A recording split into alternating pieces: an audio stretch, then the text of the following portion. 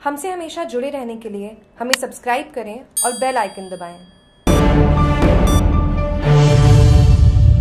Scooty सीखने को लेकर बालिकाओं व महिलाओं में उत्साह रानीवाड़ा जिला प्रशासन, पुलिस एवं ग्राम पंचायत के सहयोग से रानीवाड़ा में जिला मुख्यालय के बाद में उत्खंड स्तर पर स्कूटी सीखने का पहला शिविर चल रहा है, जिसमें काफ़ी संख्या में महिलाएँ व बालिकाएँ स्कूटी सीखने के लिए प्रातः आठ बजे खेल मैदान में पहुँच रही हैं ग्राम पंचायत द्वारा समुचित सुविधाएँ उपलब्ध करवाई जा रही हैं। बालिकाओं व महिलाओं में स्कूटी सीखने को लेकर काफ़ी उत्साह बना हुआ है।